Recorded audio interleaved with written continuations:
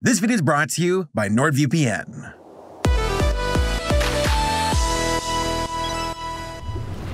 What the hell is the Academy of Magic? Well, it is an animated Harry Potter ripoff. And I don't mean as in kind of, with hints of teenage wizards and witches and magic. no, I mean a full blown movie that rips off Hogwarts, rips off iconic characters, rips off Harry's scar, and hey, let's just rip off Disney while we're at it and make our main character look like Anna from Frozen. Because why not? My name is Aura Heffenpfeffer. Liar! Released in 2020, The Academy of Magic was a blatant attempt to ride the tailcoats of greater properties, with a poster trying to hide that fact. Initially, you look at it and think, ah, well, the characters don't look that bad. uh, until you see them move in the movie, or I guess lack thereof. This kid in the background, for example, I don't even know why he's here. He was a bully the entire time and made fun of our main character, and he wasn't even the main bully. That honor goes to off brand Malfoy. And this lady over here? She wasn't in the movie at all. Who are you? Why are you here? The only thing that holds any water whatsoever is that one of the creators of Pixar's Cars worked on this movie. Yeah, he like wrote it and directed it, which is, I'll be real, more embarrassing if anything. How do you go from this to this?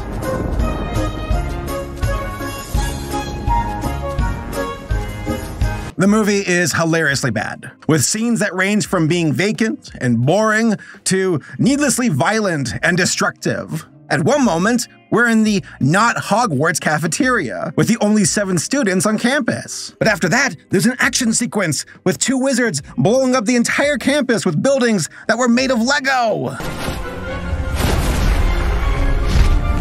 But the thing I cannot get over and made me laugh the hardest was how the film was like, oh, damn it, we're too short. We gotta pad this out. Um, quickly, show concept art from the film which is obviously not concept art at all. It's just a filter over screen caps from the movie. And you know what? You'd think there'd be credits going above this? Nah, it's just a slideshow. The credits come afterwards, and they take forever.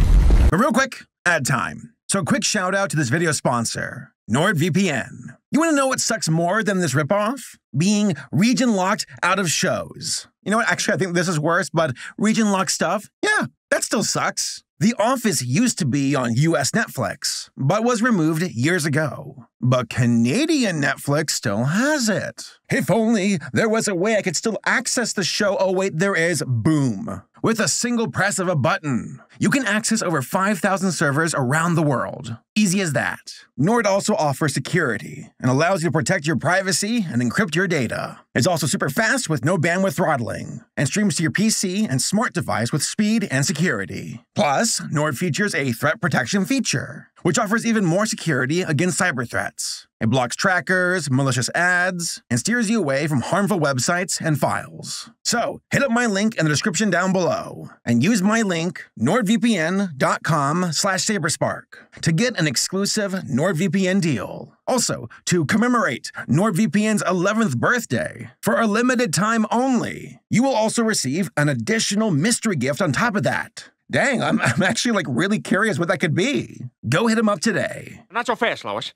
A boat's a boat, but the mystery box could be anything. It could even be a boat. You know how much we've wanted one of those. Then let's just. We'll take the box. The studio behind this movie was Gold Valley Films, a studio I never heard of before. They were founded back in 2012 and are headquartered in Burbank, though I suspect that most of the animation comes from China, based on the credits of this movie alone. Other films they worked on include Little Sorcerer and Cinderella and the Secret Prince. I haven't seen either of them. I don't know if they're anything like the Academy of Magic, but hey, they look pretty on the outside. But if they're anything like what I just watched, then they're probably garbage on the inside. Also, this movie apparently cost $12 million to make, but only made back like $400,000. But even then, it is very obvious that the money for the film did not go into the animation department. I don't know where it went. This does not look like a $12 million film. Me wonders if they did something else with their money. Hmm, I just, I don't know. Allegedly, I'm curious. I just wonder. You're a tax cheat. Admittedly, there are some good voice actors in this film, like Ben Diskin and Laura Meganstall, but they had terrible direction and lines to read. It all comes across as very one note with inexplicable shifts in tone that come across as very uncanny. Who are you? I'm Sean. I'm going up to the academy, and this dragon is the ride up there. My name is Aura, by the way. Really? Aura is your name? Huh? Let's get going. Hurry up, Aura. But what about the story itself? Yeah, it rips off Harry Potter, but does it do it well? Unsurprisingly, uh, no, it, it, does not. And let me tell you why. The movie starts off with this yellow robot that is shaped like SpongeBob running with a baby through a storm and just drops a kid at a door of some lady's house and then shuts down. The lady's like, oh, I, you know what? I, I could use a baby with black hair that turns red the next scene over.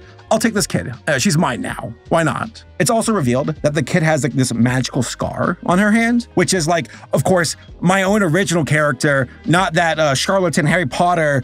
What are you talking about? The scar is completely different. Also, her name is Aura, not Anna. Aura. If we're gonna rip things off, Let's do it twice. So time goes on, sunrise, sunset, and Aura grows up on the apple farm. She is now 16 and for some reason has like magical powers. She is also like super tall compared to her auntie and the villagers, but the movie never bothers to tell us why. It's just like uh, they're hobbits, I guess. I don't know. Also, since it is Aura's birthday, the SpongeBob robot wakes up finally and tells Aura, hey, um, you're magical and you need to go to magic school. A good timing because you definitely look the part for a farm girl who works at the apple farm. I'm, I'm really glad you're already wearing a schoolgirl uniform. Uh, good timing indeed. So Aura and the robot set off to the school, with the robot showing off he can play instruments. And it's really impressive, actually. He's got a drum, he's got an accordion, he's got a tuba. Uh, he doesn't need a piano. He can play the piano without a piano. He's just that good. So the two get picked up by not Ron Weasley, or I assume it's Ron Weasley. He's got red hair, he's a wizard, he's a boy, close enough. And there is this dragon too that looks like a plastic toy, like just, just the most uninspired design ever. And the two get to campus in the sky, and they get grilled by not Snape and then rescued by Mall Santa Dumbledore. At this point, it is painfully obvious how little these characters emote. They have like two expressions and just flail their arms around like Kermit the Frog. Also, they don't really interact with the environment that well and just look like they're slapped over the setting, along with their wonky physics where they float in the air, lazy walk cycles, and awkward scenes where they're hover hand hugging. We are then introduced to the rest of the student body. Uh, not Malfoy, not the Weasley twins, a girl who looks super tired, Friar Tuck, not Anna, and then the love interest, the boy, Ron Weasley. I'm, I'm sorry, not Ron Weasley. That's it. That is literally the cast of students on the campus. Wow, booming industry, right? The students then get their Doctor Strange robes, and then they eat at the not Hogwarts cafeteria. Uh, for some reason, the audio engineer for this movie decided to highlight how few students there are on campus by providing this crazy reverb echo. There's just nobody here to buff out the sound. It's, it's a terrible acoustics. So exciting to be here, don't you think? Do you want to try one of my apples? Also, uh, Malfoy's like, hey, you're a farm girl, Aura.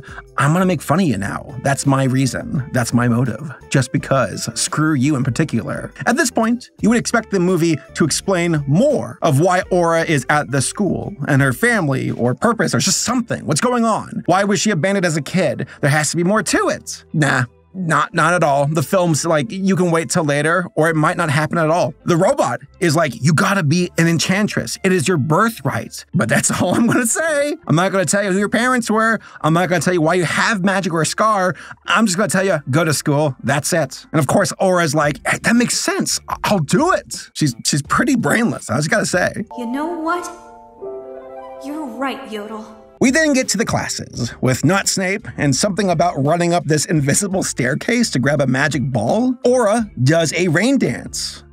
Sure, and runs up the now slippery staircase, but Snape just straight up punches her off the staircase. He's like, I don't think so. Bam, get off. Anna then reads a book so she can actually learn magic. She's like, I, I'm not learning anything in these classes. I'm gonna go study magic in the library with upside down books in the background. But then she sees her love interest sneak out of a not very well hidden sliding bookcase.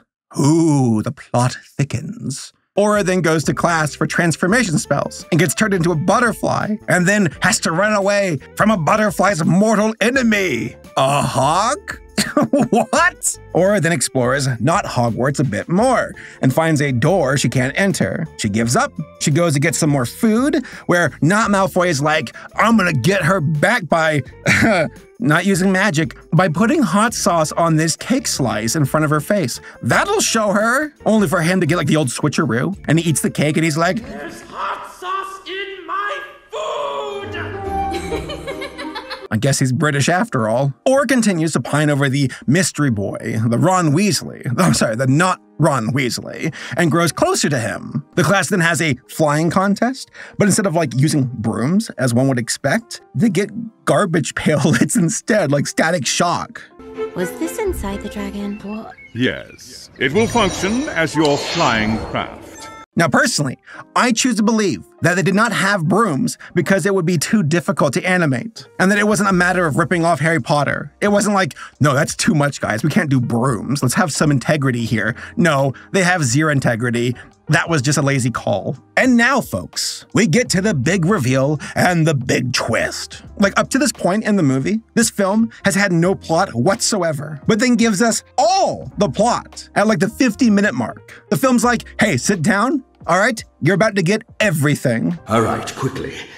I will tell you what you should rightfully know. Then you must go. Now.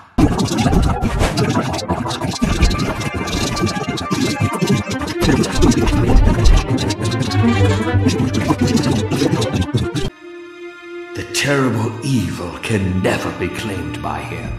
So the boy, the entire time, has been going to this cage in the, I guess, school, and there's an old man locked up. That's his grandfather. His grandfather's like, get out of here. You shouldn't be here. Apparently, he's been locked up for 16 years. Where does he poop? I don't know. Why is he in the cage? Because he's trying to like keep this key and spell away from this evil guy. And then he's like, "Oh, who's that girl behind you, my my grandson?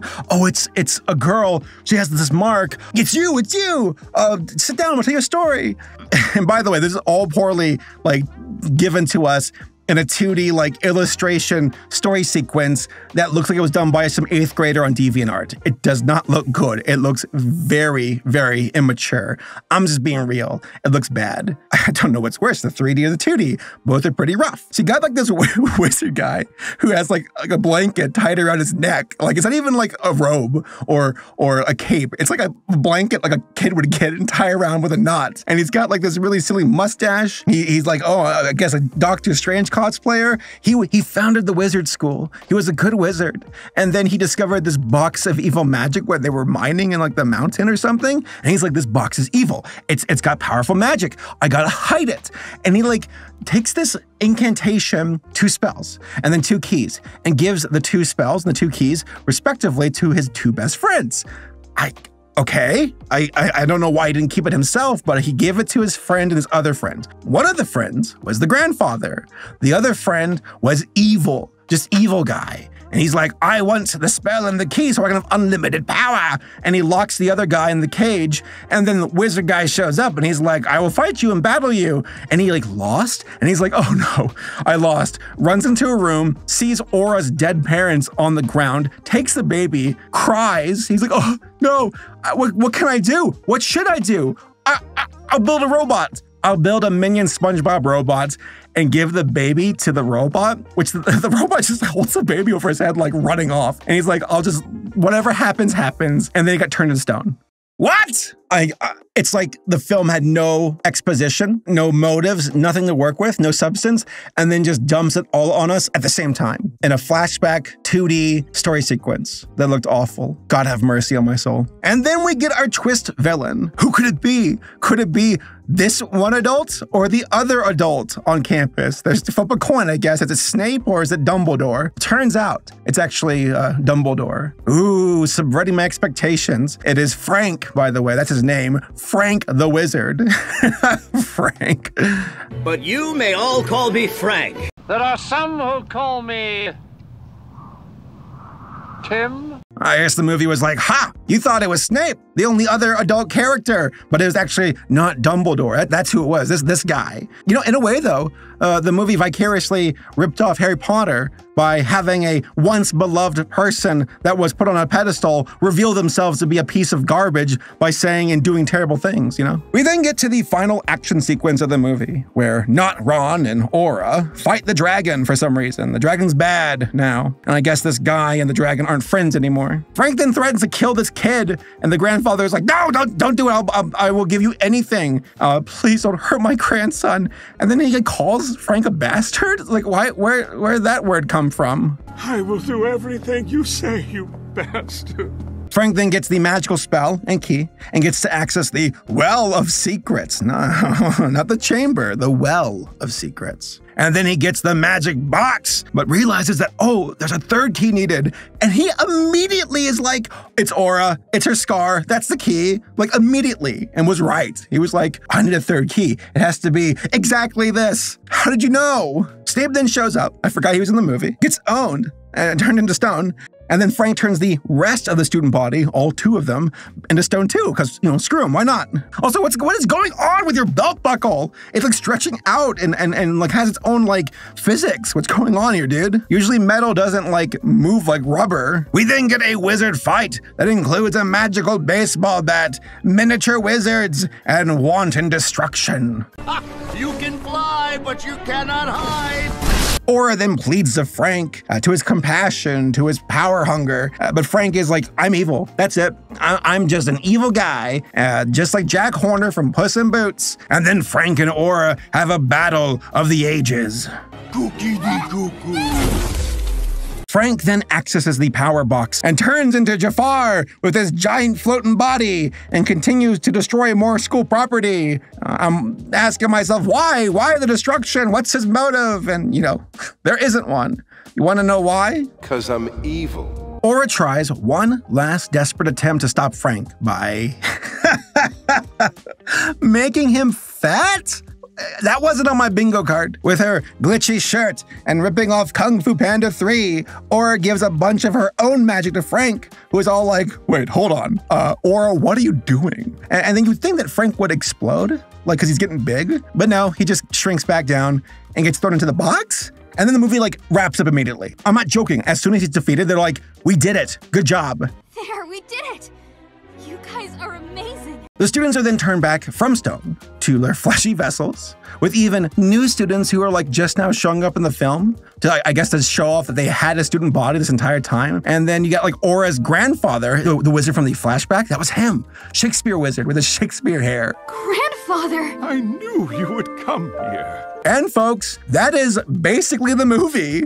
The dragon is now good for some reason. Uh, Aura is made the headmaster of the school, even though she had like one semester of like actual learning with five like classes. That's it. And, and I feel bad for not Snape here. He's like not getting that promotion. I guess that tracks. But yeah, that's right. This girl, like who's just so new, is now in charge. And she like thanks her friends, quote unquote, with some speech. She's like, I want to thank my friends who helped. And she's like gesturing to the bullies who did nothing to help at all. And yeah, that's the movie. Oh, and again, I can't forget about these concept drawings and the credits that don't feature the credits. How unbelievably lazy.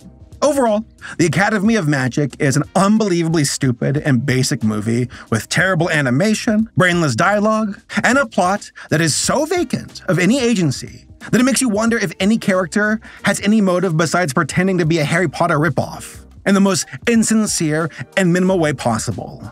Why was Aura destined to be a magic user? Not said until the end of the film, so it doesn't matter. Why was Frank evil? Hey, he's just evil. That's it. No explanation. Why are the people of Appletown so short? No idea. So many things are introduced, but with zero substance. The writing in this film was atrocious. None of these characters have any meaningful arcs or charm or personality, and we're left completely in the dark until we're like three fourths through the film. And then they're like, hey, you know what we need? Exposition. All of it, right now. Boom. And it's confusing and unrewarding. It's like the movie panicked and was like, oh, damn it, we need a plot. the the the flashback exposition right here, right now. You are not from Apple Valley. That is just where the mechanical took you to be raised. You were born here. Your given name is Montrose, and your grandfather founded this school. I'm sorry. What? It is possible that this movie started off with some kind of meaningful intention, but its production completely fell apart. Jorgen here is actually a pretty prolific artist and has a substantial resume, so I'm like very confused about what happened here with this movie. It is very possible that it fell into production hell with a lot of mismanaged funds and a hastened production that yielded a dumpster fire as the final result. And maybe in a desperate attempt for a Hail Mary maneuver, the folks making this movie were like, just make it look like Frozen and Harry Potter, and maybe we might get our money back. Womp, womp. And here's the thing the concept of a school with magical users outside of Harry Potter, that can work. The Owl House, they nail it. The Academy of Magic? Huh, not so much. So, yeah, this film is hilariously bad and has no soul whatsoever. The writing is the biggest sin of all. Like, it shouldn't be that hard to copy the backbone of the character arcs of Harry Potter, but somehow they were even able to screw that up. How can you be Harry Potter and rip it off and not be Harry Potter? This is like writing 101. Give me a character motivation, build a mystery, give me something to work with here. But instead, we got a talking robot who looks like a minion procreated with SpongeBob SquarePants and gave us this. That dragon, why don't you try me on for size? Good.